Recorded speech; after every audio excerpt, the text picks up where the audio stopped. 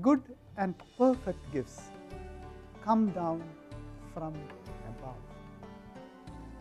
All that is good, all that is perfect is given us from above. It comes down from the Father of all light. With Him, there is no such thing as alteration, no shadow caused by change. James chapter 1, verse 17. Saint James makes very clear distinction in his letter on the gifts that come from God and those that do not.